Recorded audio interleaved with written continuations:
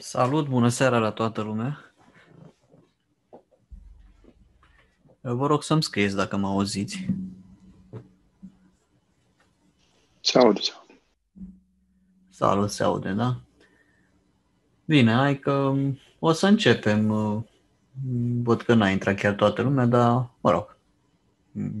O să, cine nu poate să participe o să vadă înregistrat.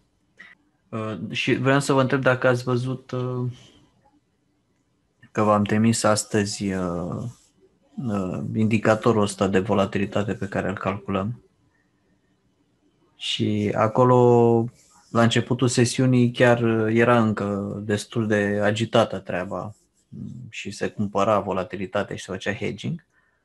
Dar, uh, cu siguranță, lucrurile vor arăta complet diferit la finalul sesiunii și um, ce se putea vedea foarte interesant era că ce uh, voiam să vă zic, uite, dacă la începutul sesiunii, dacă vă uitați uh, pe uh, setup-ul pe care vi l-am dat eu și care e și pe Patreon pus acolo, era o chestie foarte interesantă. Volatilitatea încă se cumpăra și se făcea hedging, era un pic de teamă în piață, dar uh, AD line-ul era undeva pe la 60 și ceva. Adică inițial uh, piața a scăzut când s-a deschis sesiunea, dar era pur și simplu o chestie, cum zic ei, knee-jerk reaction, adică o reacție a celor weak hands, știi, care le tremură picioarele fără motiv. Pentru că în realitate peste 60% din stocurile din listate creșteau. Și probabil că au fost niște câteva mari care au capitalizare foarte mare, care au scăzut inițial asta dă impresia că S&P-ul scade, dar dacă te uitai pe chestia asta, vedeai că de fapt uh, setup-ul și aranjamentul e cu totul alt, altul și că de fapt piața va crește. Asta așa ca o mică, ca o mică paranteză. Um, și, mă rog, voiam să vă zic că am făcut o chestie. Acum mă gândesc și eu cum să fac ca să fie cât mai eficientă, ca să fie cât mai eficient grupul ăsta de trading room. Uh, cum să procedez și o idee la care m-am gândit zilele trecute și azi am, uh, am reușit să o implementez într-o formă, este că eu când caut, uh, mă refer aici mai mult la tranzacții, la trading, nu la investiții, că acolo e altă, altă logică, dar când caut tranzacții, fac o trecere în revistă la o listă de asseturi pe care o urmăresc eu. V-am spus că lucrez la ea, să o updatez practic cu, că ea e făcută prin 2019 și mai adaug uh, destul de multe asseturi în ea. Și lista asta e făcută pe criterii de lichiditate, în primul rând. Adică vreau să fiu sigur că atunci când tranzacționez ceva, am flexibilitatea de a lucra și cu acțiuni și cu opțiuni și uh, flexibilitatea de a lucra cu opțiuni mi dă lichiditate și în niște indicatori de lichiditate pe care îi, calcul, îi caut eu și vi-am și arătat, e vorba de open interest și așa mai departe. Și cum sunt distribuite mm, contractele pe call, pe put și așa mai departe. Bid-ask spread. Bun, și um, după aia eu practic fac o trecere în revistă la toată lista asta care are vreo 200 de aseturi și găsesc o parte din ele care m-ar interesa pentru un trade în zilele imediat următoare, gen următoarele 3-4 zile, în funcție de cum evoluează prețul. Și uh, am zis, băi, lista asta scurtă, care prezintă interes pentru mine, cel puțin, pentru următoarea perioadă, pot să vă dau și vouă, că nu mi-e greu, uite, le marchez aici cu culoarea verde pe... și uite, de exemplu, acum au fost vreo, nici nu știu, vreo 30-40 să fi fost și dacă vă uitați aici pe... și am să fac uh, cât de... Practic, când odată la câteva zile o să fac chestia asta și în principiu probabil că înainte de zilele în care ne întâlnim noi. Și uite, am făcut aici o, un capitol, un, mă rog, un, nu știu cum să-l numesc, o secțiune aici pe, pe Patreon care se numește watchlist. Și am pus una și practic aici am să pun uh, când mai trec o dată prin ele și mă gândesc, uite, din astea 20-30 o să aleg câteva trade-uri în următoarele zile pentru că fac alegerea asta în funcție mai mult pe criterii tehnice. Practic văd ceva ce îmi convine și bineînțeles că nu sunt situațiile ideale în care văd eu, dar în situațiile în care uh, văd ceva și îmi convine, uh, aștept o zi, două, poate ajunge într-o situație ideală și atunci pot să pun un trade sau aștept un semnal, practic. Și lista asta am să o pun și pentru voi. Dacă, adică vă ușurez munca, practică. Dacă căutați, am pus-o acum, mi-am dat seama că ar fi fost interesant să le, le bifez cu roșu pe cele la care mă uit pentru short și cu verde pe cele care le mă uit, mă uit pentru long. Ei, mi-am dat seama după aia, de acum așa am să fac. Și eu pun așa, sub formă de imagine, că mi este mie mai ușor. Da, am scris aici de ce am pus-o și de acum, mă rog. Asta am vrut să vă zic. Da, ca să revenim, deci vă sfătuiesc încă o dată să urmăriți acest setup în TradingView. Dacă sunt printre voi care nu l-au făcut, găsesc aici pe, pe TradingView, găsesc cum l-am făcut, ce indicator conține și cum se uh, și explicația cum se setează și așa mai departe. De fapt, este un indicator pe care eu l-am făcut, care ne zice cât la sută din uh, asset cresc și câte scad într-un anumit moment, de, din tot ce e listat pe NISE, deci pe New York Stock Exchange, unde sunt cam majoritatea listate.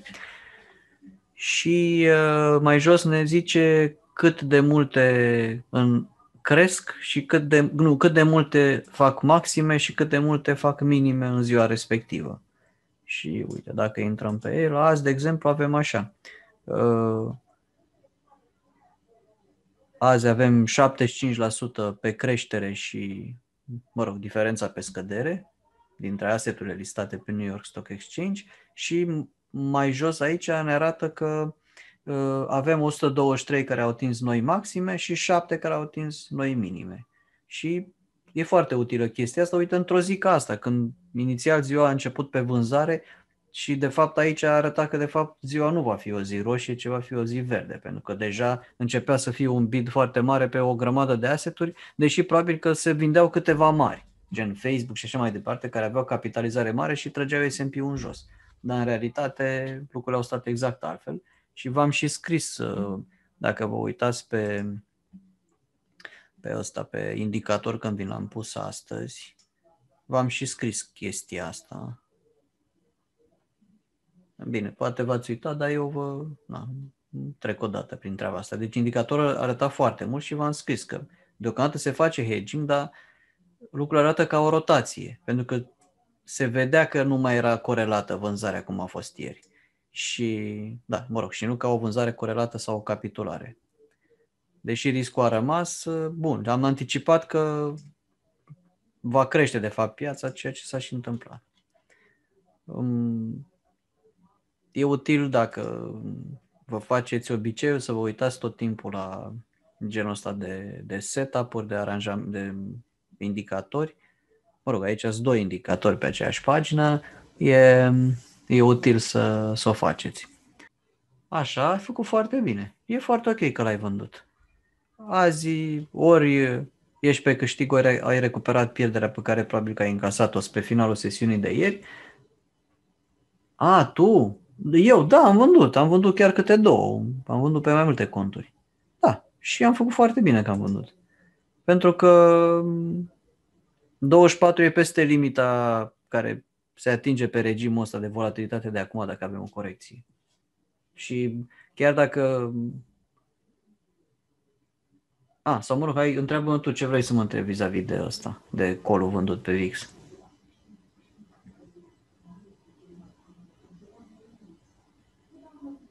Păi e vândut la o săptămână și asta înseamnă că el va expira marțea viitoare, miercuri. Deci aștept să treacă săptămâna și să rămân cu ăștia 40 Probabil de... se referă gen dacă e un sell-off mare, ce se Dacă întâmplă? e un sell-off mare... Cât poate să valoreze minus, probabil. Poate să valoreze minus și 2-3 mii de dolari. Atâta vreme cât îți, a, îți asumi chestia asta și ai bani în cont, nu e niciun fel de problemă. Andrei, intervin și eu dacă îmi permiți. Da. Am uitat acolo colateralul care ți-l oprește undeva până în 1500 pentru... Da, dar dacă crește VIX-ul, că îi cresc colateralul.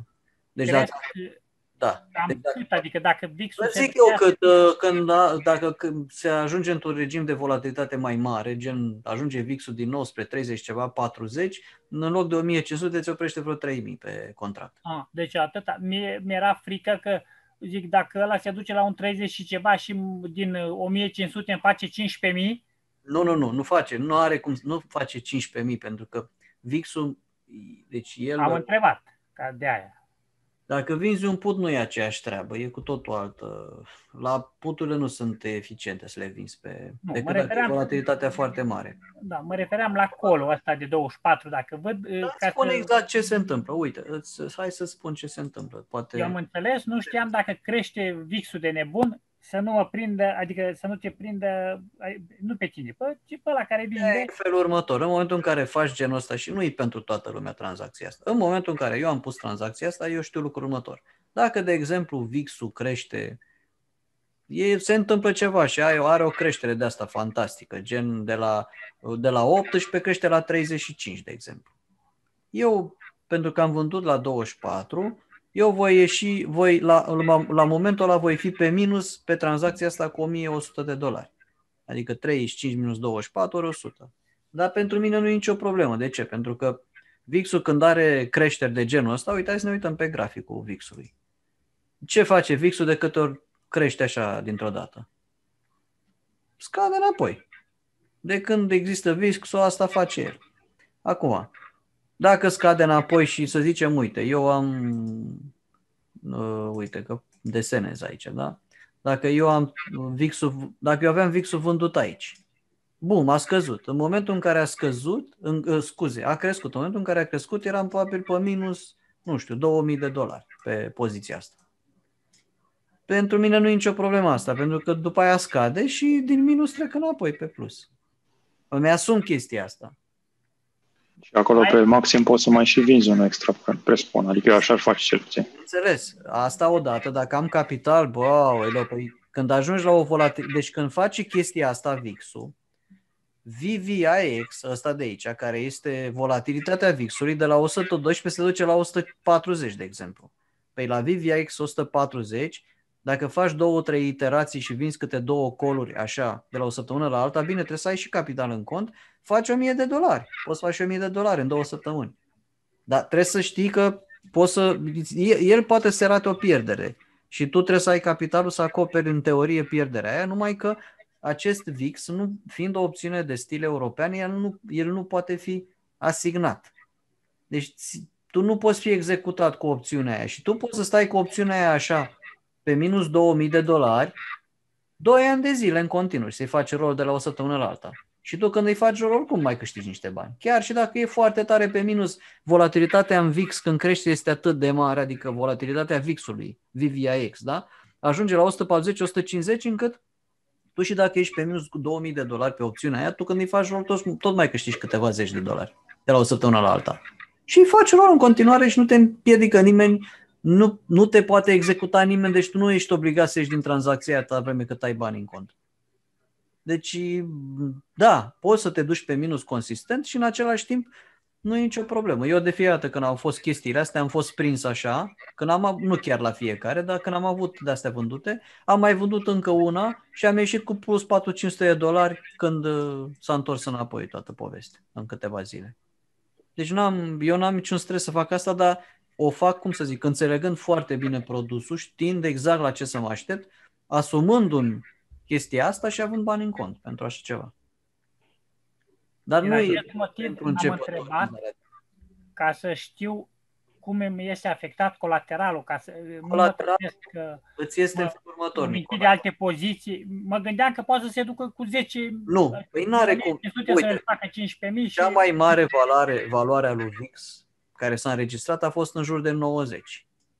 Dar uite, putem să ne uităm că ei, e, când, după cum v-am explicat și ieri, VIX-ul el este o ecuație. instrument, uh, as, uh, tickerul, simbolul care ne zice nouă, cu cât uh, simbolul care ne zice nouă settlementul VIX-ului, care se face miercurea dimineața, în fiecare săptămână, este VRO. Și dacă ne uităm pe VRO, ia uitați-vă, dacă te uiți pe el, cea mai mare, cel mai mare settlement.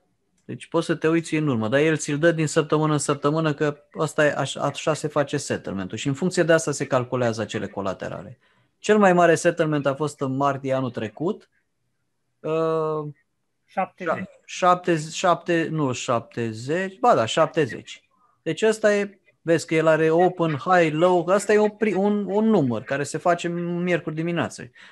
Păi tu dacă ai vândut la, la 24. 24, 70 minus 24 face 46.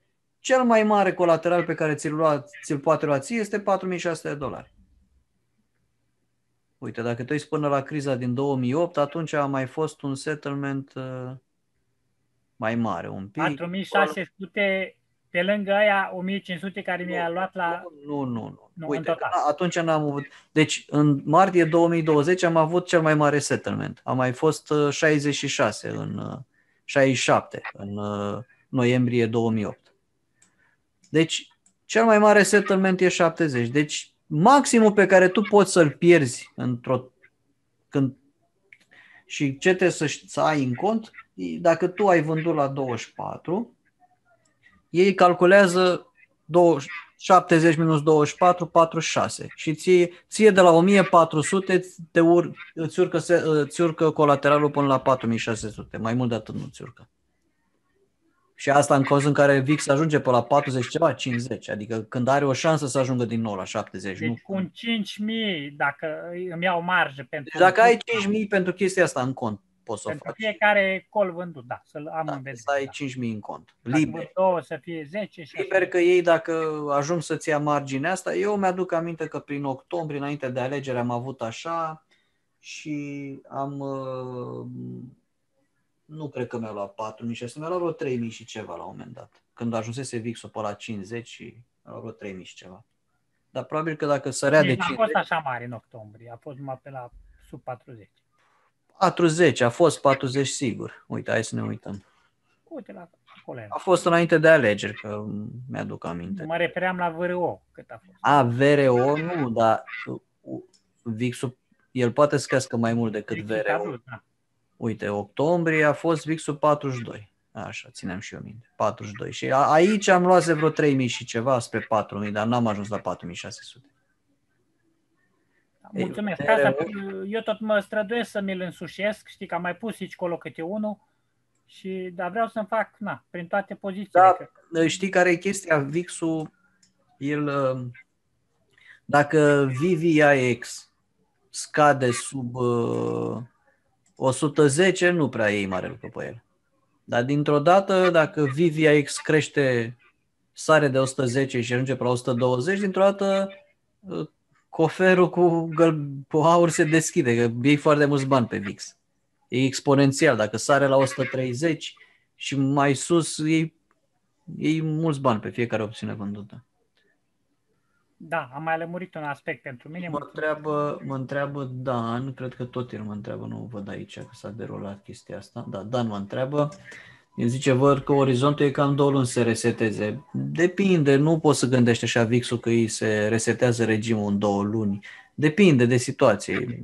Acum sunt, s-a resetat un pic regimul și suntem într-o zonă mai uh, suntem acum într-o zonă mai de volatilitate mai mică. Deci ce am avut noi în iarnă, toamnă, iarnă, după alegeri am avut un regim în care ajungeam ușor la 30 și ceva și stăteam plafonați undeva la 19-20 pe partea de jos. Ei, acum cred că ne-am plafonat undeva pe la 16 și eu estimez că cred că undeva chiar și pe la 15 să se plafoneze chestia asta și o să ajungem că la o creștere de volatilitate să ajungem la 21-22. Deci 24 e un loc safe. Ne-am întors cumva la regimul de volatilitate dinainte de coronavirus. Cam acum e momentul în care ne-am întors la ce era înainte. Bun, și Dan întreabă dacă rolul buy-ului pe VIX care e, păi când cumperi VIX și faci rol, plătești. Treci de la o, la o expirare la alta, tu ești long delta, chiar dacă pe VIX delta e calculat în mod ciudat, ești long delta și atunci long și long theta și atunci plătești. Deci nu, e o, nu este o, cum să zic, nu este o, un play, o, o, o chestie de făcut să cumpere opțiuni VIX și să stai cu ele cumpărate. De obicei, când se cumpără opțiuni VIX, se fac uh, jonglerii de genul următor. Uite, vă arăt exemplu. Te duci la 27 de zile, dar asta când e un pic de volatilitate.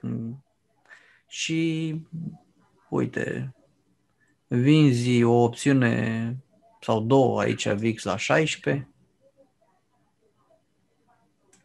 și cu banii ăștia încerci să cumperi un spread un pic mai sus, știi, gen... Uh, dar, repet, trebuie să fie volatilitatea un pic mai mare, că deja a scăzut uh, volatilitatea VIX-ului și nu prea mai merge, uite, e 115 acum pe, la, pe expirarea asta.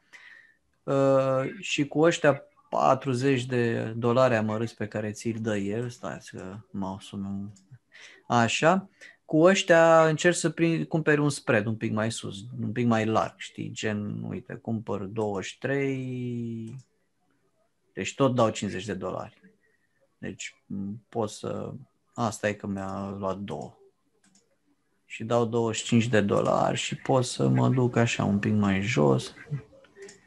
Da, uite, faci o chestie de asta, gen, uite, mă costă 20 de dolari și dacă am un spike de volatilitate, câștig 500 minus ăștia 20. Cam chestii de astea se fac ca să-ți faci un hedge, un fel de, să-ți faci cât de cât o protecție pe VIX.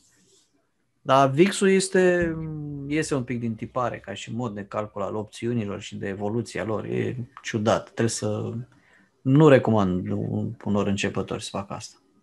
E, mă rog, e foarte distorsionată și volatilitatea lui și uite, aici ai la cumpărare 118 și la vânzare 140 pe opțiunea asta, ceea ce te avantajează, dar trebuie să știi să citești chestiile astea, știi?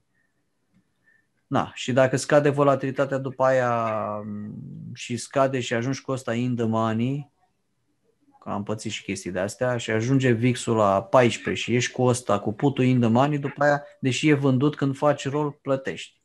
Pentru că e volatilitatea mică și volatilitatea pe opțiunile mai îndepărtate pe puturi in the money e mai mare decât asta de acum și na, chiar e, e mai mică decât asta de acum și tu când faci rol ajungi să plătești de fapt și eu în fine.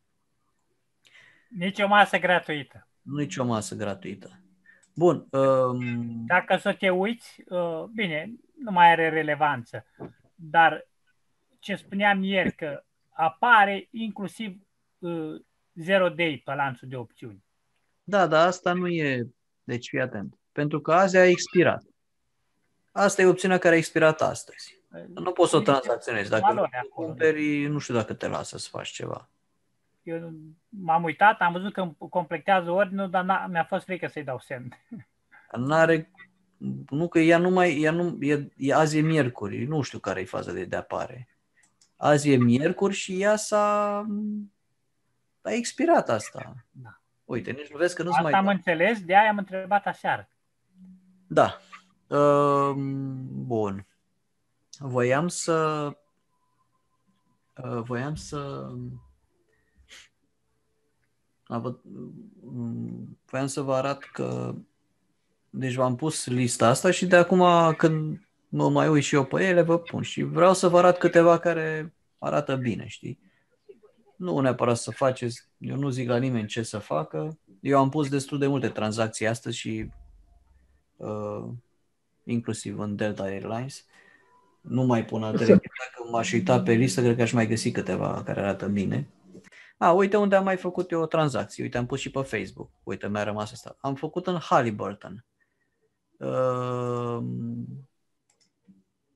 vă arată așa cam câteva chestii pe care le-am făcut. De ce am făcut aici? Pentru că a avut earnings uh, earnings au fost bune și el uh, a pornit dintr-o corecție în aceste uh, și ținând cont că petrolul el este corelat cu prețul petrolului pentru că este o companie din domeniul energiei și în ideea că totuși mă aștept ca petrolul să aibă o revenire în perioada următoare, am decis să fac un trade aici, îl urmăresc să revină la, la o neutralitate pe RSI, undeva gen la 21, poate chiar 22 și am cumpărat 100 de acțiuni. Cred că am pus-o și pe... Acum cred că s-a dus un pic pe pierdere tranzacția, dar... Uh, uite, zice că am pierdut 13 dolari. Am cumpărat 100 de acțiuni aici. A Halliburton, am dat 1879 pe ele. Și ăsta e un trade care tehnic nu arată foarte bine, însă mi-a plăcut uh, faptul că a avut niște earnings bune, că a deschis cu gap down și că după aia a reușit să crească, în condițiile în care astăzi prețul petrolului este în scădere. Prin urmare, îmi place chestia asta. Nu mi-asum un risc foarte mare, îmi pun un stop loss aici la 17,2, cea de genul ăsta. Dacă s-a dus în jos de 17,2, am ieșit. Morningstar zice că 28 este fair value. 28 și ăsta e 18. Deci, da, și zice are că loc. Două, are loc. 20, 29% discount și că... Și, uite, încă o chestie. Uh, ce caut eu foarte mult și la care mă uit și vreau să dacă vreți, o să și fac și setup-ul ăsta, dacă vreți să vi faceți și voi pe TradingView. Nu e complicat, dar ce caut eu foarte mult? Caut divergența asta, caut să văd un asset în care prețul scade, dar uh, nu ies bani din el sau chiar intră. Și uite, uitați-vă aici. Luăm uh, data de 24 martie și prețul era la, uh, s-a închis la 21.20. Scuze. 24 martie s-a închis la 21.30. Da? Pe care sunt eu acum cu liniuța, cu mouse Și am prețul de astăzi, da? Care este 18,78. Deci între 21.30 și 18,78 pe această scădere a, uh, a prețului, eu nu am, asetul n-a pierdut bani. Adică ce înseamnă că n-a pierdut bani? Că puteți să vă uitați, vedeți accumulation distribution cum funcționează, volumele pe cumpărări au fost mai mari decât alea pe vânzări și per total, de fapt, în asset au intrat bani. Pentru că, uite, erau 745 de milioane intrați în el la data de 24 martie, când era prețul 21, 20 sau 30, și acum sunt toți, sunt 743, 745, 743. Deci el a avut o scădere de 10% aproape și el n-a pierdut aproape deloc în materie de bani care, de, de, de money flow, da? Sunt mai mulți indicatori care arată chestia asta. Eu l-am ales pe ăsta că e cel mai clasic și îmi plac chestiile foarte clasice. Și asta m-a convins pe mine, mi-a dat încă un semn pozitiv. După aia m-am uitat pe order flow și am văzut că în ultima săptămână n-au fost foarte mulți bani băgați pe pariuri mari pe opțiuni, dar ăștia care au fost băgați 100% pe bullish. Uite, la, au cumpărat colul la 20, 22, 21,5, 23,5. Adică dacă pun toate astea cap la cap și uite și informația, cum a zis Alex, te uiți și la o analiză fundamentală și zice, băi, prețul corect e 28, n-ai mai, multe, mai mult decât atât ca să intri long, ca să intri lung pe un asset, nu prea ai ce să ceri. Adică n-ai ce să-ți dorești mai mult decât atât. Decât A, să ai niște deci... informații din interior, în care să știi cine știe ce știi.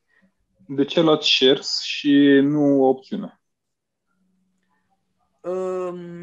Pentru că le mai diversific și eu. Adică am tot făcut opțiuni, futures, CFD-uri și din când în când mai fac și cu shares. Și de ce am luat shares? Pentru că vreau să mă păstrez un pic mai flexibil. Adică, adică zici că îi dai șansă să crească mai mult timp decât două săptămâni sau da, trei și, Da, și îi dau șansă să crească mai mult. Și asta. Deși eu estimez că ăsta e un trade de două săptămâni, părerea mea. Da, nu, poate să fie și de două zile. Poate mâine, să, dacă petrolul sare așa dintr-o dată la 67 în trei zile, toate, tot trage totul după el. Petrolul e supravândut în momentul ăsta și e un, pe, pe toată zona petrolieră e loc de făcut tranzacții. Da, Dar atenție, că sunt multe care au earnings. Deci sunt multe care arată bine și au earnings. Uite, Ox, de exemplu, Occidental Petroleum, imediat, Nicolae, stai puțin. Deci asta e un trade care mie mi-a plăcut și de-aia am... Vreau să zic că eram aici, uh, tot pentru hal. Arată-ne cum ai fi făcut cu opțiuni. Cum aș fi făcut cu opțiuni, nu? Cu opțiunea am mai multe variante. Fie fac o, o tranzacție care uh, este o, tot un lung din ăsta sintetic, adică care mimează deținerea 100 de acțiuni și tranzacția ar fi arătată în felul următor. Mă duc la, să zic că îi dau minim 30 de zile. Da? De obicei când fac asta mă duc la între 45 și 50. Nu am nici 45, nici 50, să zicem, și nici îmi plac mai mult uh, expirările lunare, deci mă duc la 30. Sau pot să mă duc și la 58, tot aia e. Și ce fac? Cumpăr o opțiune care are delta mai mare de 85. Și uit aici. Vezi? Asta. Hai să și... Ei, în momentul în care eu cumpăr opțiunea asta, de aici, bine, probabil că obțin un preț, văd că are și... A, uite, nu-mi place, că are zero open interest, deci voi obține un preț mic la ea. O să, nu mai, o să-mi dea un market maker, o să-mi o... Bine, că între 405 și 395 sunt 10 dolari, până la urmă nu mă deranjează să pierd 10 dolari, 5 dolari, în fine. Ideea este că cumperi o opțiune care are delta mai mare de 85, în momentul ăsta eu practic dau 400 de dolari pe asta și eu practic mimez cumpărarea 88 de acțiuni cu chestia asta.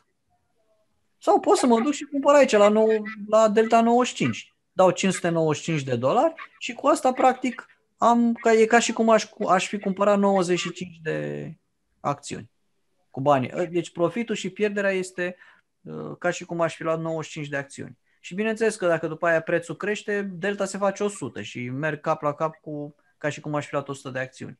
Asta e modalitatea sintetică de a mima chestia asta. O altă modalitate de a mima prețul uh, acest, mă rog, este un, bine, eu fac foarte rar chestia asta. Poți să efectiv să faci un long sintetic, adică să cumperi oh, scuze, stai să așa. Cumperi opțiunea asta și o vinzi pe asta. Din... Bine, cauți să mergi un pic la paritate. Uite, aici ai 122. N-ai, n-ai cum să găsești exact echilibru perfect. Deci, în momentul în care ai făcut chestia asta, el o să-ți ia un colateral pentru aia vândută de 500 de dolari. Dar în momentul în care faci chestia asta, dacă te uiți pe analiză, ai mimat exact deținerea 100 de acțiuni. Vezi? Ai graficul de risc a 100 de acțiuni. mai că ai făcut chestia asta pă, cumpărând, uh, alocând doar 500 de dolari. Deci asta e o altă modalitate prin care poți să mimezi efectiv ce am făcut eu. Acum, alte variante de a intra într-o tranzacție lungă, aici sunt spreadurile. Poți, de exemplu, să vrei să riști mai puțin, dar și să câștigi mai puțin atunci. Cum cumpăr una aici? La aici trebuie să te uiți la volatilitate deja. Te duci mai aproape, de exemplu, la 30 de zile. Cumperi una la 18 și vinzi una la 20, de exemplu. Sau hai să le facem echidistante. Aici prețul e 18,80 17,5 cu 20. Deci uite, eu am aici un spread care are spreadul în sine este de 250 de dolari. Și eu dau 127 de dolari pe el. Și e un preț corect. Și mă uit că am cumpărat o volatilitate puțin mai mare, de 47%, și am vândut o volatilitate un pic mai mică, de 45%. Asta îmi dă practic faptul că eu normal trebuia să nu plătesc mai mult de 125 de dolari pe chestia asta. Plătesc 127 și vă garantez că mi-a mai mult de fapt, că diferențialul de 2% e destul de mare de volatilitate.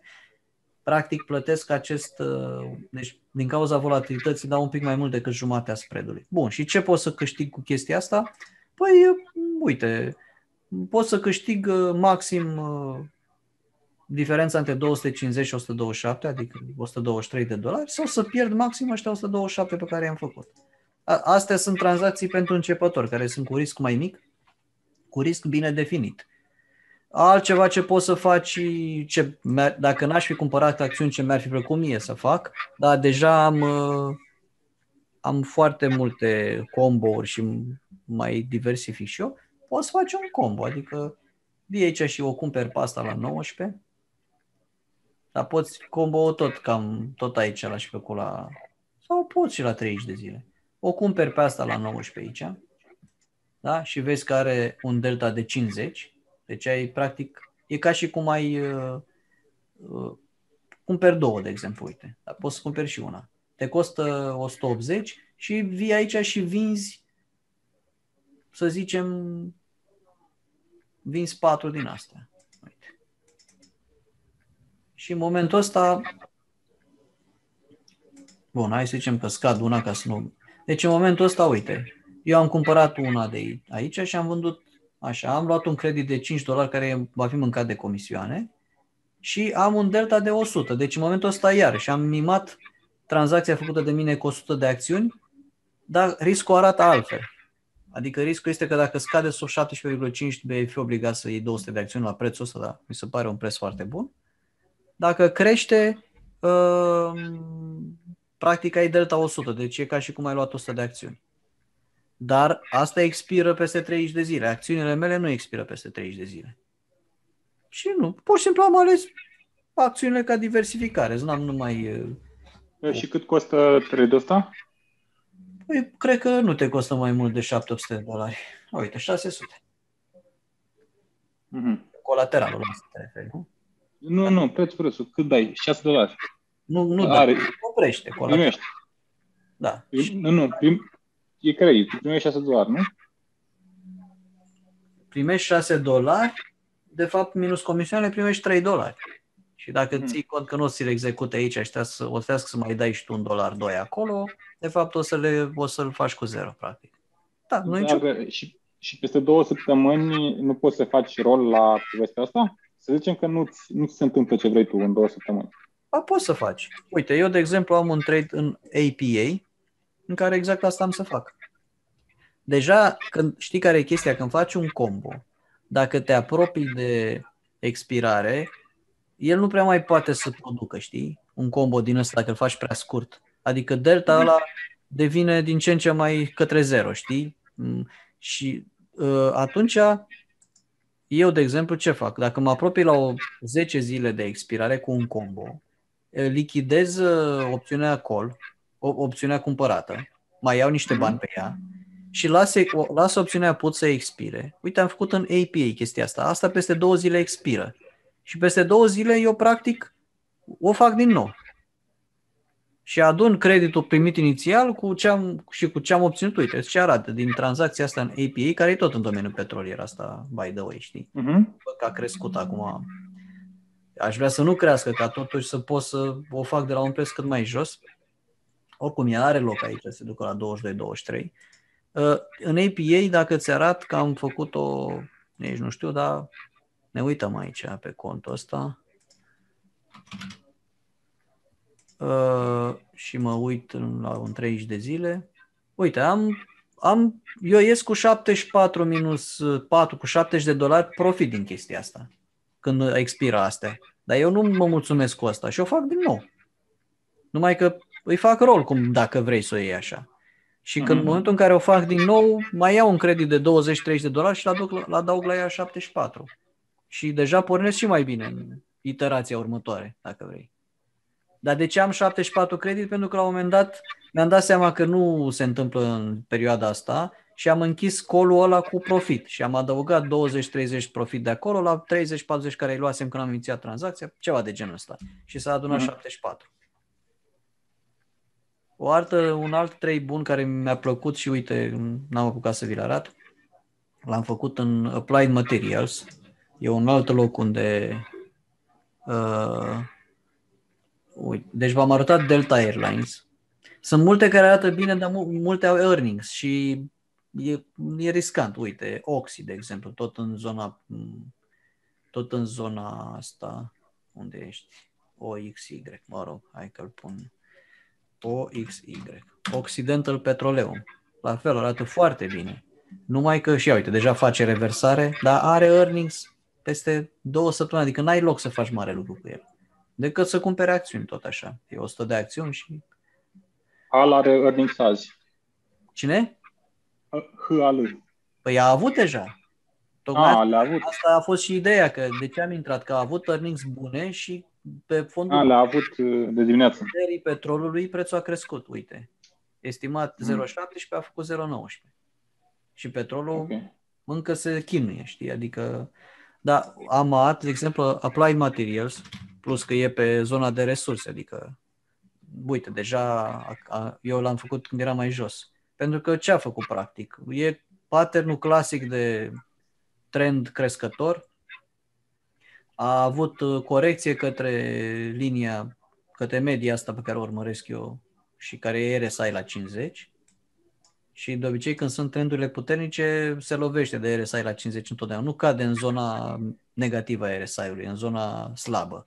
Și a ajuns exact în el și am făcut, aseară m-am uitat pe el, am hotărât să fac astăzi uh, trade-ul. V-am zis ieri că uh, cât nu mi era clar corecția asta în ce direcție se duce, am ezitat ieri să intru în tranzacții. Și azi când am văzut că e ok că lucrurile stau bine, adică că nu stau rău, de fapt, am hotărât să intru și printre cele care m-au interesat a fost Applied Materials, pentru că aici m, îl văd lejer înapoi la 145-150 pe asta. Și ce tranzacții am făcut? Am făcut spread-uri, ia să vedem. Dacă... A, am făcut, uh, uite ce am făcut în Applied Materials. Am, am dus exact înainte de expirare, n-am vrut să risc expirarea, uh, înainte de earnings. Am cumpărat un spread 130-133, care văd că deja a intrat in the money, da? Și pe el am dat uh, 100 și ceva de dolari și am mai vândut un spread aici ca să finanțez o parte din el. Deci am vândut ăsta la 120-115.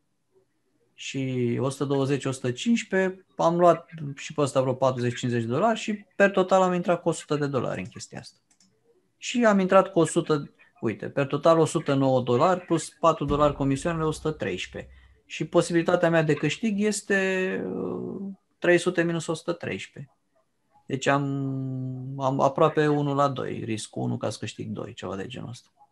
Da, bine, că dacă câștig 150 ies, nu stau în expirare. E, e foarte scurtă tranzacție, deci sunt șanse mari că dacă prețul nu se mai mișcă să pierd ăștia 100. Bine, că nu-i pierd pe toți, că ies. uh, Dacă ajung, am, deci să știți, 4 zile este cel într-o tranzacție de tip spread care a- se îndreaptă către expirare, uh, patru zile e limita. Să nu intri niciodată în ultimile patru zile, că e gama foarte mare și... Deci, de exemplu, dacă ăsta nu se mai mișcă și eu am dat 109 pe el și ajung în... El expiră pe 7 mai și ajung în data de... Uh, ajung în data de... Deci expiră aici pe 7. Dacă ajung pe 3, uh, ies din ea cu, indiferent de situație.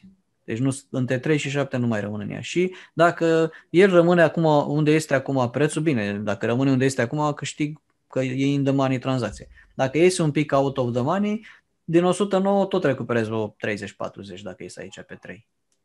Deci cam asta. Mă uit și eu la el e, și mă, e, mă gândeam e, să vând un put pe la 124-125. Dacă crezi că poți să iei acțiunile astea la prețul ăsta, da, poți să faci.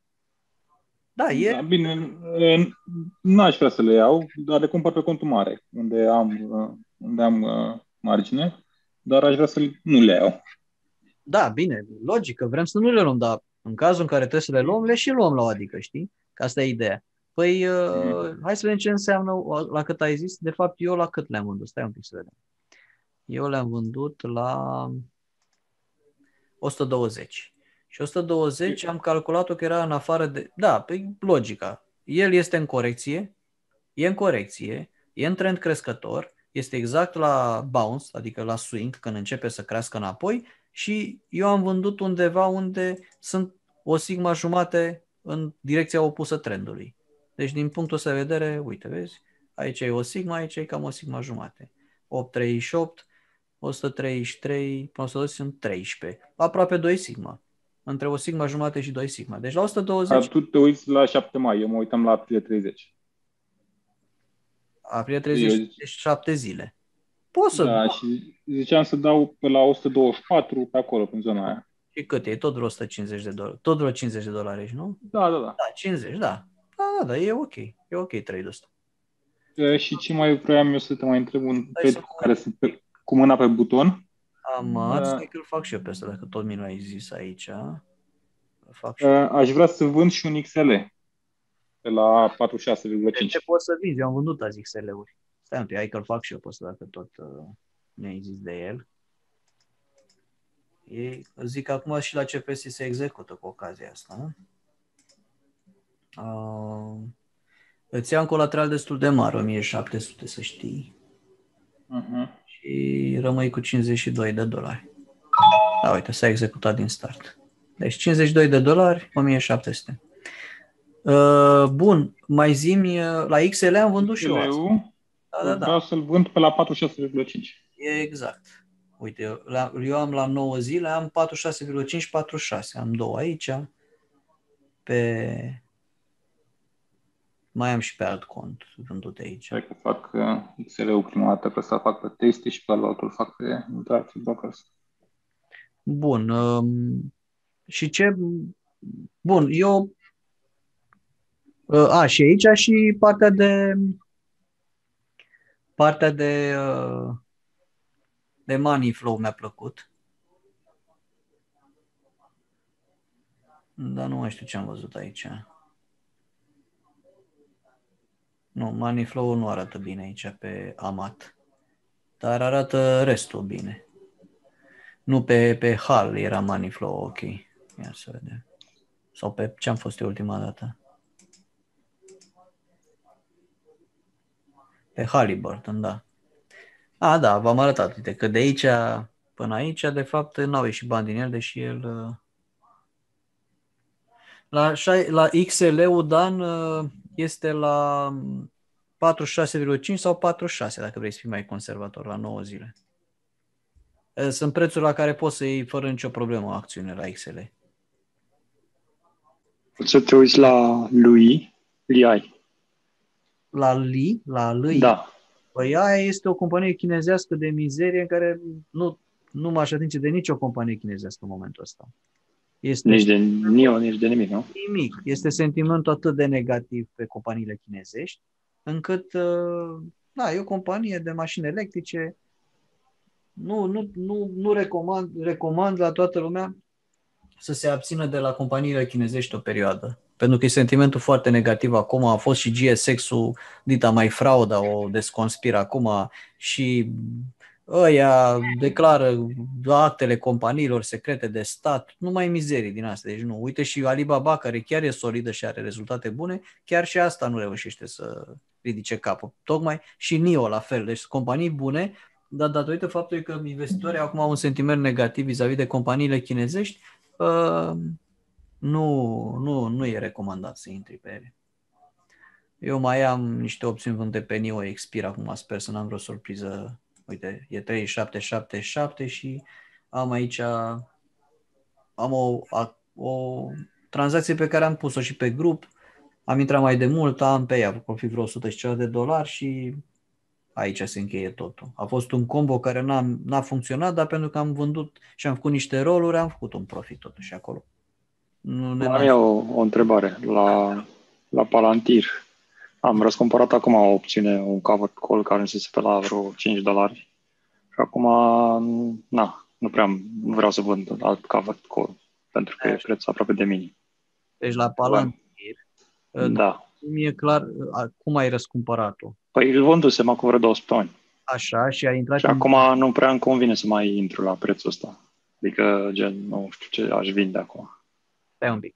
Adică la ce strike să vind, să vând Păi, din punctul meu de vedere, următorul cum call. arată Palantir, eu n-aș vinde niciun call. Păi asta, asta zic, adică asta era și părerea mea, dar voiam să văd ce părere ai tu. Da, n-aș vinde niciun call, pentru că e genul de... Bun, a- aici tehnic nu îmi zice nimic, da, tehnic. Nici... Dar faptul că sunt în permanență știri pozitive și că au făcut tot felul de contracte și fac în continuare și e clar că e de viitor compania asta. Um, nu, e, e- oricând poate să-ți facă o surpriză de genul ăsta. Așa, în trei zile, bum, bum, s-a dublat în trei zile. Și e păcat de Dumnezeu să... Bine, nu are legătură Dumnezeu cu asta, e vorba. E păcat să vinzi un col aici. Adică să te, tu vinzi un col că n-ai, n-ai ce să iei pe el. Îi vinzi un col aici la 25, la 26. Și el dacă a zburdat la 36, tu în loc să câștigi 1200 de dolari, câștigi 30 de dolari. 40. E nu se merită. Păi, da, da, uite, așa am avut de prin februarie și am vândut coluri din astea. De acord. Și da. acum, na, mai am încă 100 de acțiuni extra și cu astea vreau să jonglez, să vând și coluri. Și uite, de acum pe creșterea asta de la 25-26 am vândut. Fii atent. Dacă eu sunt în situația asta, uite, spun cum procedez eu. Mă duc foarte departe. Mă duc, ok, bun, am, mă, mă întreb, ăștia 100 de dolari pe care aloc colul respectiv, da? Că asta fac. La ce preț aș fi confortabil să... Păi da, dacă te uiți pe Palantir o să vezi că nu prea primești mare chestii, că așa m-am gândit și eu, dar... Mă duc departe. Mă duc departe, asta e, uite, mă duc la aici, la 58 de zile și zic, bă, uite, cât e Palantir? Ah, stai că eram pe NIO. Mă duc la, uite aici, la, să zicem, la 58 de zile și zic, băi, l-aș vinde la 28, pe alea le-aș vinde. 28, dacă le-am le luat la 21, 22, fac 700 de dolari și mai iau, uite, și iau 70 de dolari și asta e, am în casa 70 de dolari și stau cu minte o lună jumate. Dar în niciun caz n-aș vinde aproape, gen la 9, la 12 zile, pentru 10-15 dolari să ies. În niciun caz n-aș face asta. Am, f- am pățit chestiile astea și uh, nu s-a meritat. Da, nu poți să faci rol eventually, adică gen să fie un spike din asta, o creștere agresivă din asta, după aia scade un pic. Dacă faci o, o, dacă faci o creștere agresivă și colul intră destul de puternic in the money, sunt, unu, poți fi, poți fi asignat, poți fi executat. Asta e o chestie. Mai ales dacă urmează... Păi nu, stai, că dacă vin scol, eu am opțiuni, nu prea poți să asignez. Adică eu am o acțiune. Păi da, te Poate... pierzi acțiunile. Tot asta se întâmplă. Am înțeles, pe păi da, da, deci... Cumpăr acțiunile la prețul ăla. În fine, dacă îmi faci asta, le cumpăr din nou acțiunile, pentru că e în avantajul meu să mă execute cineva în cazul ăsta, dar în fine. Păi nu, uh, n-ai cum, cum cumperi din nou, că tu, deci tu dacă ai... Tu dacă a doua zi, asta e, na, mă... Stai puțin, stai un pic. Dacă tu l-ai luat la 22 și vinzi un col la 24 și el crește la 30, te asignează și tu ce faci? Nu... la 30 a doua zi? Nu, ai păi, pierdut. În principiu ar trebui să fie cam aceeași chestie. Singura, singurul risc la care mă supun e cu da, da, uh, ce se întâmplă cu prețul de pe zi pe alta. Riscul de oportunitate. Dacă tu cumperi la 22 și vinzi colul la 24 și el crește la 30, tu vei fi asignat, vei fi obligat să vinzi cele 100 de acțiuni la 24 ai câștigat păi... 200 de dolari, dar de fapt ai pierdut alte 600. Sau alte... Aia da, știu, dar ideea mea ar fi ca la puturi, știi, când vezi că intră in the money sau whatever, îi faci rol. Că, practic ăsta ar fi... E asta îți explică, dacă intră foarte tare in the money, vei, nu poți să împiedici asignarea, mai ales dacă urmează dividende, că sunt coluri. Dacă urmează no, dividende, te vor... Mă refer strict la palantire, adică gen, da. aș, să zicem că aș vinde un col la 27, văd crește prețul la 25 și mai dau două săptămâni și pun la 30 după aia văd că crește la 30, da, nu știu, la 27. Faci rol, pierzi niște bani la rolul ăla, dar încasezi o diferență, în plus că te duci mai departe în timp. Poți să faci. Da, exact. Poți să faci asta, nu te contrazic, dar... Nu, păi nu, întrebam dacă ai făcut așa ceva și da, a funcționat, știi? Am făcut și asta și nu, nu mi s-a părut uh, cine știe ce șmecherie, ca să zic așa. Am făcut și faptul că am fost depășit și am rămas in the money și atunci ca să nu fiu asignat și să iau niște dividende, am făcut rol la distanță foarte mare a, a ceva ce era adânc in the money și pentru stocuri care au potențial exploziv, Palantir are potențial exploziv, nu, nu vând coluri. E cel mai simplu. Pentru 10 dolari acolo, 15-20 nu se merită. Mai bine vinzi un put unde, unde ai mai fi dispus să cumperi niște acțiuni decât să vinzi un col. Ei la Tasty Works cam pe ideea asta merg. Adică ei zic, domnule, vânzarea de opțiuni. Bine, și dacă vă uitați pe conturile mele, uite, eu din deprecierea opțiunilor am în fiecare zi, cât am acum, de exemplu? 39 64, 103 și costă 180, 283 290, 360 de dolari zilnic. Eu, eu n-am avut niciodată contul pe uh, short teta. Deci eu în permanență am, asta înseamnă că am vând opțiuni foarte multe pe contul ăsta, pe conturile astea.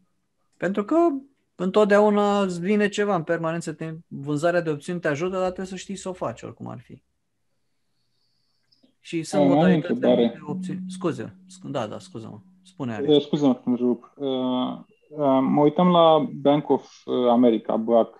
Da. Uh, aș, aș vinde e și uh, un put. Deci și a avut și... Da, dar nu-i prea mic, îți vinzi doar un put, 30 de dolari. Aș vinde la 38. Da, 30, 37, știi tu. A, da, vinzi aproape de tot, agresiv. Da. Că văd că își revine acolo destul de tare. Păi da, și nu numai că își revine, dar are, cum să zic, uite, și pe partea de money flow nu arată prost. A avut earnings, băncile, atâta vreme cât, do- cât uh, dobânzile se presupune că va fi inflație și dobânzile vor crește, băncile vor fi avantajate. Trendul e, cum scrie la carte, cred că e și... Deci eu mă uit, Uite, mă uit la... Pui o regresie pe el. Cred că e algoritmii și fac treaba aici, uite. Deci în momentul ăsta, dacă o iei strict pe tranzacționare algoritmică, aici la 37, la 38 se cumpără. Acum. Mm. Viitor nu se va mai cumpăra la 38, se va cumpăra la 39 și așa mai departe. Da, eu aș pune pe 30 aprilie la 38. Aș vinde Și încasez 37 de dolari. Și oricum, dacă ajung acolo, iau la, 3, la 3800, dau pe ea. Da, tocmai. Uh, era... Da, da, e ok trade-ul. Că pare să continuă trendul da, eu... Adică nu știu, a avut niște mișcări cam ciudate, nu prea știu nu care. Ciudate, e, e volatil. Pentru că el, de tradițional, X nu a fost un aset foarte volatil. Însă, acum, datorită faptului că ei vor fi foarte avantajați de toată investiția în infrastructură și așa mai departe, um, mă rog, a căpătat tracțiune, cum se zice. Are earnings-ul aproape, deci acum, na, eu mi-am construit o poziție în sensul în care eu în, în X mi-am am băgat câte o mie și ceva de dolari de două ori până acum anul ăsta și mi-am dublat de fiecare dată. Ar fi a treia oară când intru pe X acum. Și uh, acum eu mi-am am, am început să construiesc o poziție, deci acum e, o, e un bai, după părerea mea. Numai că nu arată chiar din toate punctele de vedere bine. Și, na, Adică eu întotdeauna ca să fiu așa, să am o convingere, eu caut să văd că pe o corecție intră bani în el. Și la X, la X nu se întâmplă chestia asta. Și nu se întâmplă de mai mult timp. Uite, putem să ne uităm și pe weekly.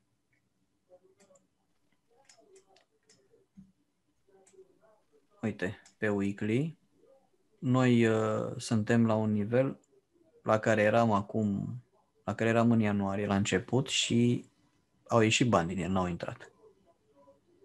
Dar trendul arată bine ca trend, ca evoluție. Uh, acum ce să zic?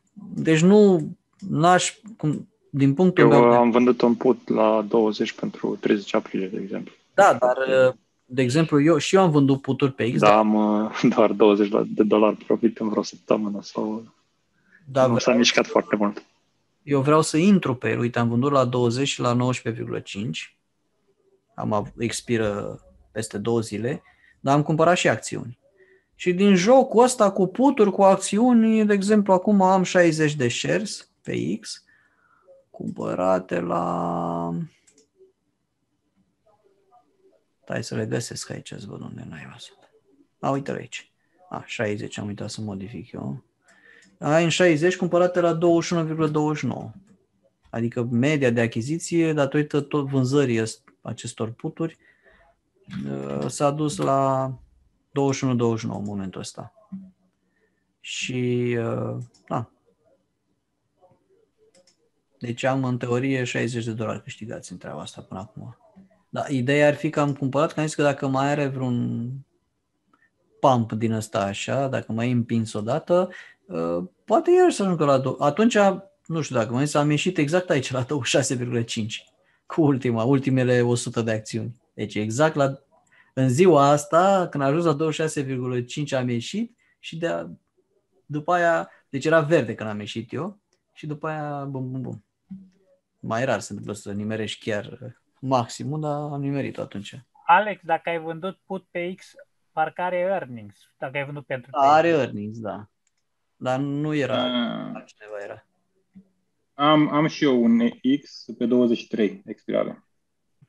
Ca să te ajute volatilitatea cel mai bine, te ajută la, la modul că să fii cu volatil, să te ajute volatilitatea pe uh, opțiuni, te ajută pe cumpărare.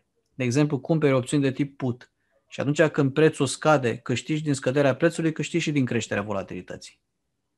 Că atunci când cumperi opțiuni, ești long volatility, deci ești lung pe volatilitate. Și din cauza asta sunt foarte multe, sunt trader care fac o strategie de genul următor. Mă duc pe SPY, pe Spider, într-o zi în care eu estimez că prețul poate să scadă, știi?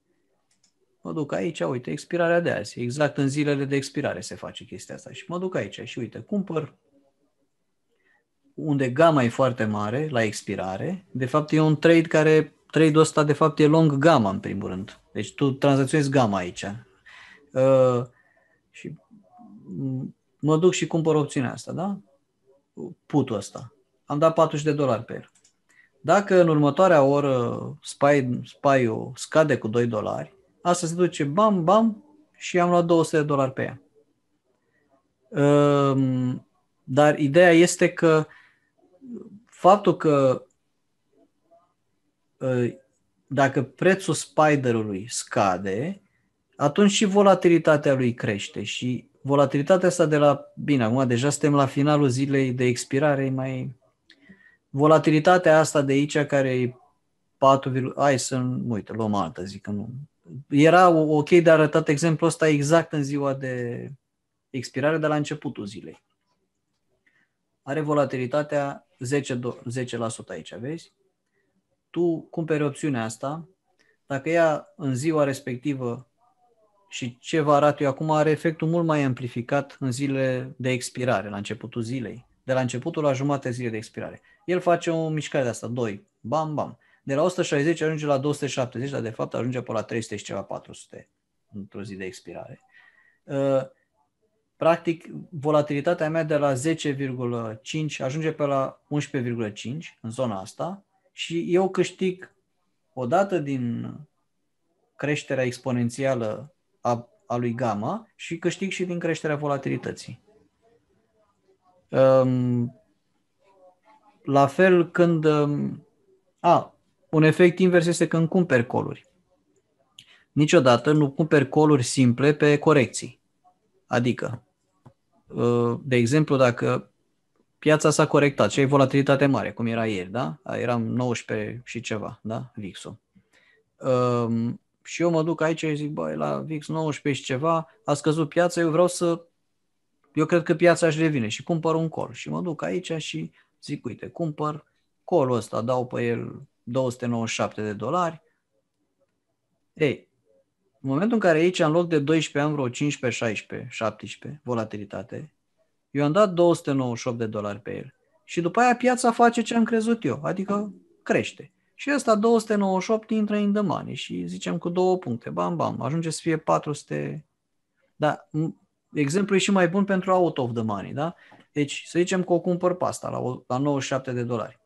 Are 11% volatilitate, stai să vă arăt cu... O cumpăr pe asta, are 11% volatilitate, dar să zicem că acum sunt pe o corecție și de fapt ăștia 11% sunt 16% volatilitate.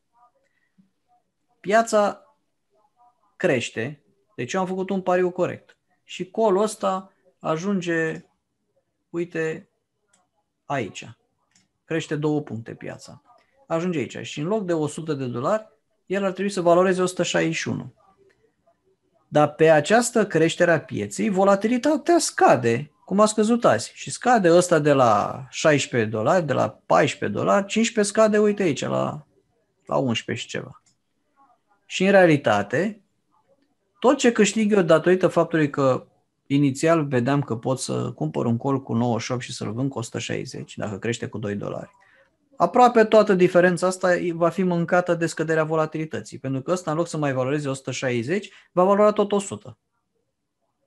Nu știu dacă m-am am fost Da, nu, asta, asta era clar. Oricum eu încerc să folosesc și eu. volatility crash, știi? Căde din crash-ul de volatilitate. Și se păi... întâmplă foarte des chestia asta și trebuie să știi ca trader de opțiuni să nu intri în capcane de genul ăsta. Adică întotdeauna trebuie să te uiți, uite, astea. Nu există așa ceva să nu ai riscuri. Dacă nu ai risc direcțional, adică nu ai risc, risc riscul lui delta, ori ai risc de depreciere, ești, ești foarte aproape de, de expirare și ești în zona aia cu gamma mare, teta mare și în câteva zile nu mai rămâne nimic din valoarea opțiunilor, ori ai risc de volatilitate. Nu există să faci o, o tranzacție de opțiuni în care tu să nu ai riscuri.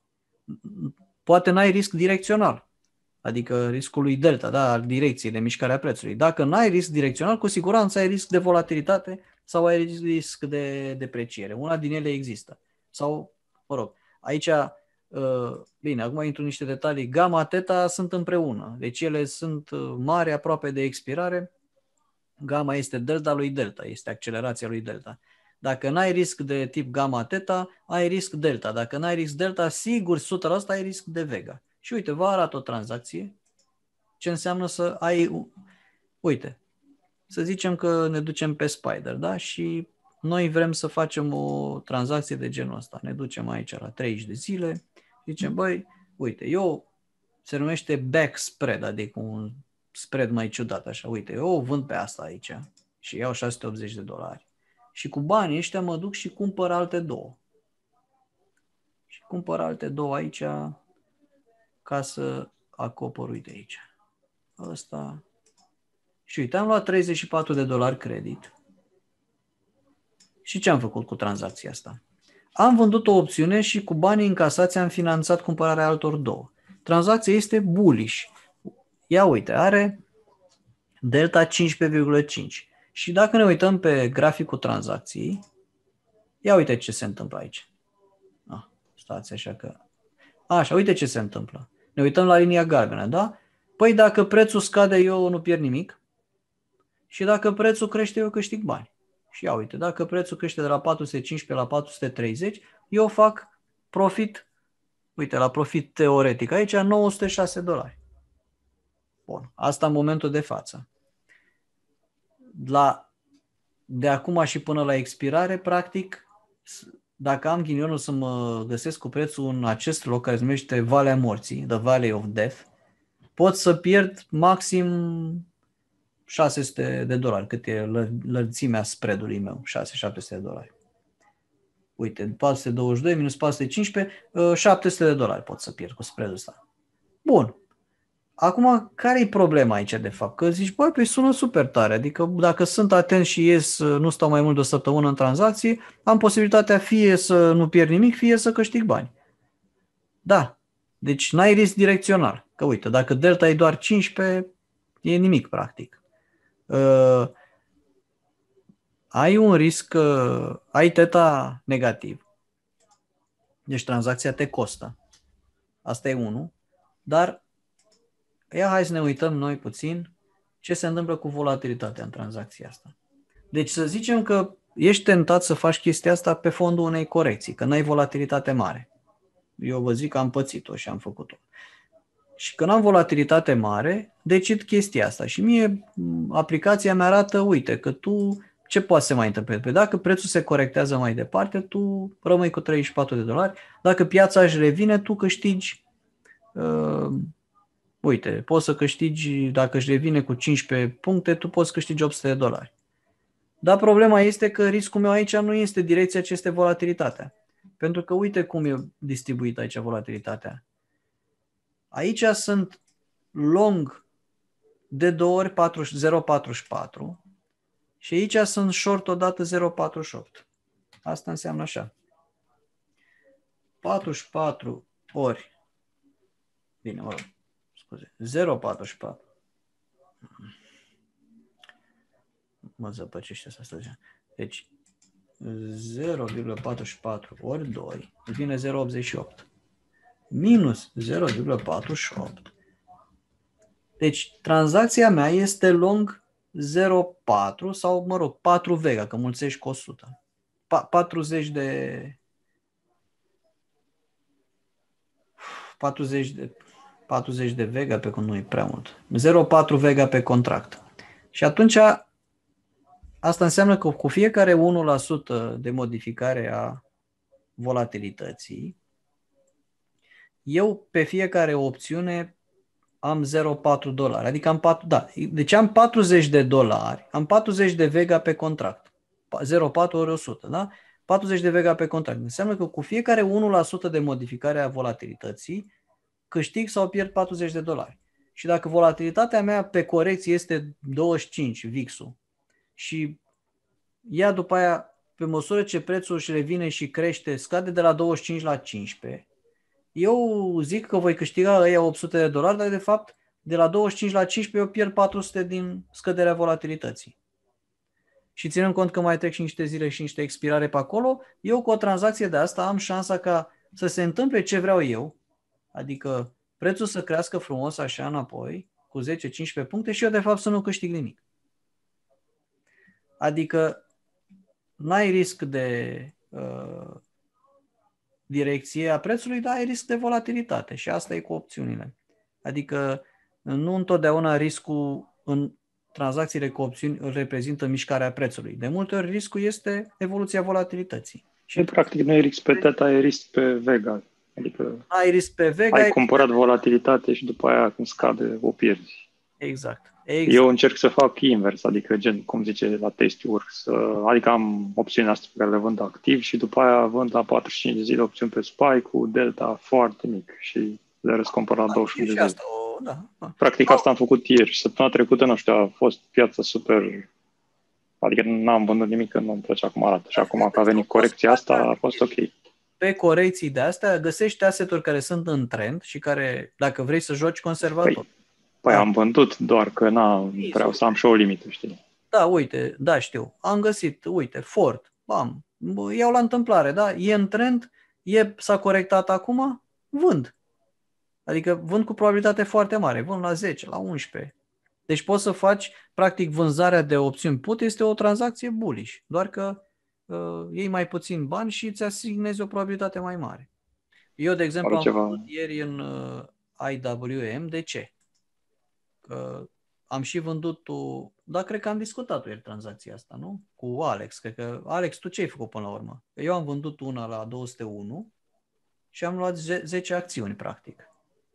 Eu am vândut... Uh, stai că spun la 205 parcă ziceai că ai vândut. Da, 205 am vândut una și am luat uh, un dolar. Dar eu m-am gândit așa. Am da, scuze. 100, adică un... Da. Eu m-am gândit așa, iau 57 pe asta, dar iau 10 acțiuni și dacă prețul crește cum cred eu că ar trebui să crească, adică peste 226, eu câștig uh, vreo 150 de dolari, poate și mai mult. Și atunci am făcut o combinată așa. Dar ideea e care a fost, că eu pe corecție am vândut, am vândut put. Deci am făcut o tranzacție bullish, practic, dar pe corecție. Scuze, uite aici. Deci eu aici am intrat cu vânzare. Puteam să intru doar cu cumpărare, în delta pozitiv. Dar și vânzare de put, tot delta pozitiv este. Deci depinde de alegerea fiecăruia, știi? Ei la da, Tasty bine. Trade au, au făcut backtesting pe foarte, foarte multe mii și mii de zile și au demonstrat că matematic câștigi mai mulți bani dacă vinzi opțiuni decât dacă faci tot felul de speculații. Asta voiam să zic, practic, am văzut că ai vândut la termen scurt. Na, eu nu prea voiam să fac asta. Adică nu știam spy unde se oprește sau corecția asta că se oprește ieri și... Asta nu se face la termen scurt.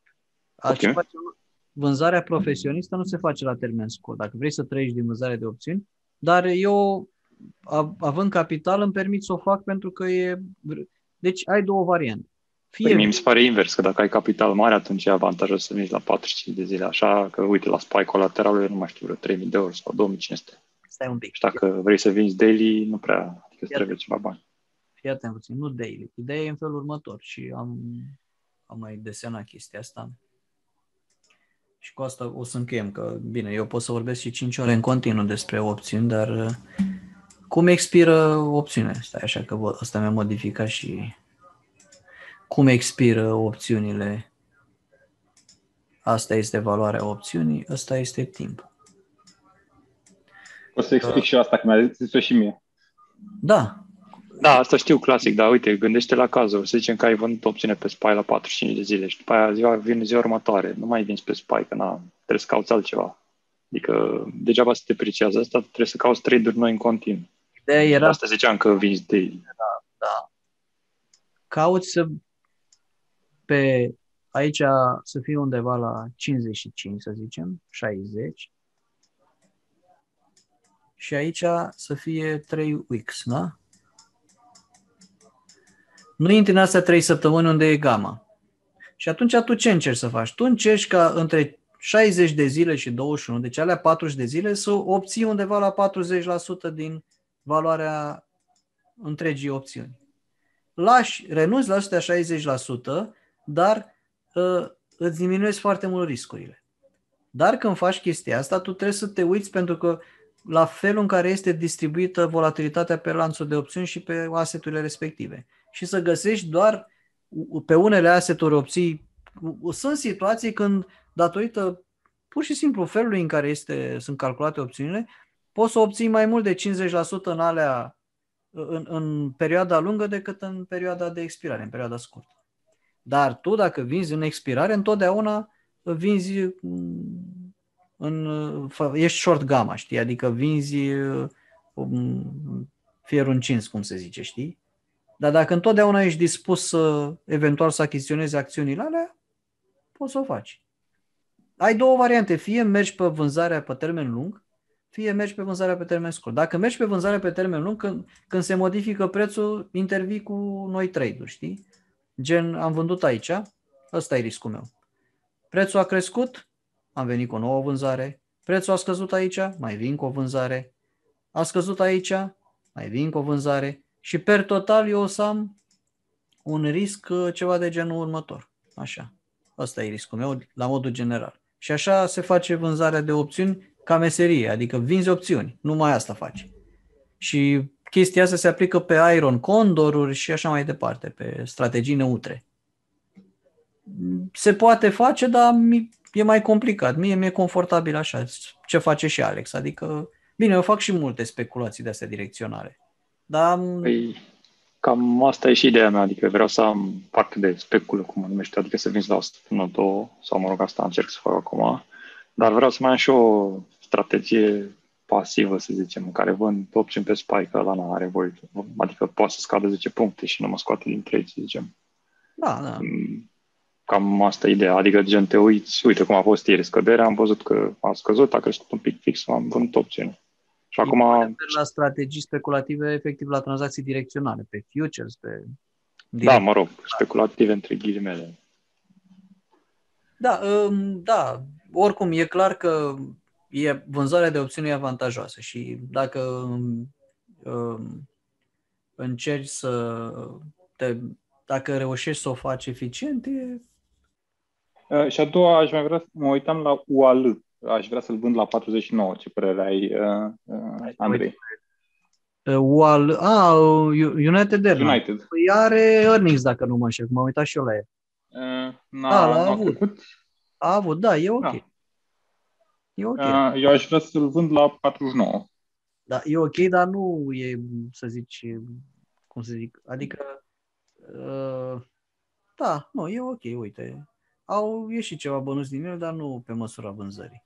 Da. Mm-hmm. Asta e o, o formă Și- de reversare, chestia asta, felul în care arată astea două lumânări. La 49 vrei să vinzi? Mm-hmm. Nu-i cam agresiv? Mm, nu știu. Bun. Uh, mă uitam, uh, zic că o ia trendul în jos, eu mă gândeam că Nu, tocmai n-am că zis asta. se deschide. Am spus asta, dar e m, agresivă vânzare la 49. La cât vrei să vinzi? La câte zile? Uh, pe 30 aprilie. A, la 9 zile. Dar de ce nu mergi la 7 mai? Că ai două iterații. Ai 7 mai și peste două săptămâni lunara. Și mergi din două în două. Mhm. Deci dacă te duci la 7 mai, Deci uite, dacă te, uite ce aș face eu. Mă duc aici. Mhm. Cât vrei să iei tu? Dacă gândești din punct de vedere cantitativ, știi? Vreau să iau 40 de dolari pe ea. Bun. Hai să mă văd dacă mă duc o săptămână mai încolo. La cât iau 40? Uite, pot să iau la 48,52. Mai, mai curând o vând pe asta la 48, da? Mhm. Decât să o vând pe... Uite, Mhm. Sau, sau o vând pe 47 aici, la 7 mai. Da, dar 47 deja nu mai e decât 38 de dolari. Poți și asta să faci. Bun și aia. 47. Da. Deja dacă se duce la 47, e baie aici. E cum s-a dus în zona asta de suport. Da, uite să știi că Adică poți aia să... de 47 se merită cumpărată, nu? Da, dar hai să văd la 47 ce colateral oprește. 500, a, asta e de făcut, uite, o vând și eu. Am făcut o grămadă de tranzacții azi. Iau pe ea 34 de dolari. Ah, uite, gata, am făcut-o și pe asta. 35 mea, 34 e net pe ea. Eu încerc să vând la 36, să vedem. Ei, da, poți, da. Ah, mă rog. A, mai am o întrebare scurtă, așa, mai de macro. Cum uh, ți-ai dat seama că na, nu mai continuă scăderea asta? Păi ți-am, ți-am zis mai, am zis mai devreme. Lasă, pe lângă scriptul ăla cu... Doar, doar scriptul ăla cu advanced decline, că majoritatea cresc și nu prea scad, sau... Păi era o divergență între, fel, între ce îmi zicea scriptul ăla și cum s-a deschis piața. Ok, deci doar scriptul ăla și faptul că a fost o simplă rotație și nu Da, ceva asta coordonat. E că e o rotație, pentru că era diferență, nu știu dacă ți-aduce aminte la deschiderea pieței, că uh, Russell era pe creștere, în, uh, S&P-ul era plat și Nasdaq era pe vânzare. Și aia mi-a zis clar că, de fapt, pleacă banii în tehnologie, se duc înapoi în small caps, de unde au plecat ieri și alaltă ieri. Ieri și vineri. Și, practic, e rotația înapoi. Ulterior, păi uite-te la procente. Uh, tehnologia a crescut cu 0,5, small caps a crescut cu 2 și ieri scăzuse cu 2, practic. Păi eu nu urmăresc small caps și na, nu prea aveam cum să văd asta. Nu, Da, de acum o să-l pe urmăresc și eu. ecranul meu. Dacă te uiți pe ecranul meu, vezi, uite, la procente, Nasdaq, la primele trei de sus, Nasdaq cu 0,4 Le, le văd acum, nu. și Russell-ul 2,11. Russell-ul ieri a scăzut cu 2,2 sau 2,3 în condițiile în care Nasdaq a scăzut și el ieri. Deci ele împreună practic au reca- recuperat, dar cum s-a deschis piața, se duceau banii în Russell și ieșeau din Nasdaq. Volatilitatea era în continuare cumpărată, dar în același timp pe, ce se întâmplă? Deci sunt câteva firme mari la ora actuală care mișcă piața. Tesla, Facebook și așa mai departe. Dacă firmele astea sunt vândute, tu poți să ai o piață care, să zicem, scade cu 0,2% și să ai un advanced decline line de genul 30% scădere, 70% creștere. Și în realitate, de fapt, piața să crească, chiar dacă indicele ție spune că piața nu crește, știi? Și dacă iei și pui cap la cap toate astea și te gândești că n-am avut o vânzare corelată, adică dacă te uiți pe Advanced Decline Line, n-a fost niciun moment în care să se vândă tot. A fost așa ieri cât de cât, știi? Dar cel mai mult a fost ieri 74%. A fost, e puțin ca să aibă forță o vânzare de genul ăsta. Și Am noaptea înțeles. te gândești la faptul că suntem... Deci nu, nu e nimic care să determine o panică. Eu pentru chestia asta mai folosesc la Finviza o chestie mișto Maps și poți să vezi acolo efectiv pe Da, e sectoare și și pe ți arată Tasteworks chestia asta. Sunt mai, pe mai multe. harta sau... Poftim? Adică pe Finviza arată chiar frumos. Da, pe taste, adică cum e capitalizată, nu piața, care sunt mai... Nu, efectiv, vezi niște boxe. Poți să intri și acum, Finviz și e Știu Maps acolo. Finviz-ul, Cred Ah, că ok. pe... Păi nu, nu să scanezi, efectiv, să vezi. Ia să vedem. E ceva similar cu Advanced Decline, Da, că așa și îmi dau în seama da. dacă e un sell-off. Ai Maps acolo, a patra chestie, așa. Și aici îți dai seama Ah, dacă se nu, vinde asta- unul mare sau nu. Da, da, da, asta este și uite, vezi ce s-a vândut azi. Și dacă vezi că se vinde unul mare, e clar că n-ai, e Uh, doar o Asta chestie. o ai identic și pe Think or Swim. Mm, Da, nu mi-am pus încă timpul. să- Ți-am zis că ai idee, ăla o ai și acolo. Mhm. Și Da, din eu nou, vă asta mi se trezesc pare mai super ok. devreme. Vă doresc o seară plăcută. Da, Salutare. eu să închidem La fel, salut. uh, depășit. Da, scuze, la mine a fost prima din a fost mai curios. mă apuc să vorbesc despre chestiile astea, pot să vorbesc și vreo 5-6 ore, că am mai făcut, când făceam trainingul de opțiune, am mai făcut din astea de 4 ore. Tocmai că a continuat discuția și, na. Bine. Păi vă urez o seară bună și ne auzim vineri din nou. Salut! Mulțumim mult, o seară bună! Toate bune, la revedere, papa! Seară bună!